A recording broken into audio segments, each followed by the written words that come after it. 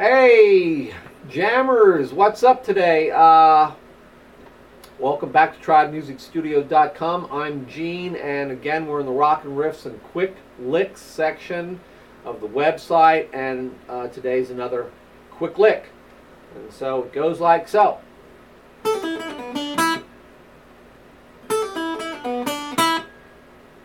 It's out of the E blues scale. This is how I'm doing it.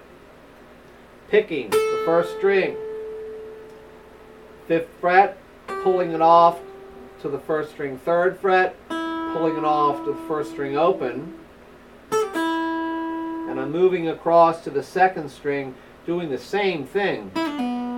I'm picking the uh, second string, fifth fret, pulling it off to the second string, third fret, pulling it off to the second string open. And then coming back to the second string, third fret, picking it, and the first string open.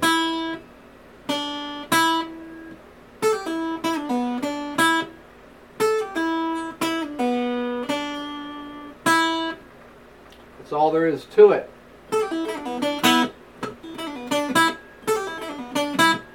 So, it's uh, again, it's another nice lick when you're improvising, jamming, messing around. Uh, to chuck in with some blues tunes or some rock songs. Uh, probably work with some country tunes. So, hope you like it and that you can use it. Please come back and visit with us again. Love you. Bye.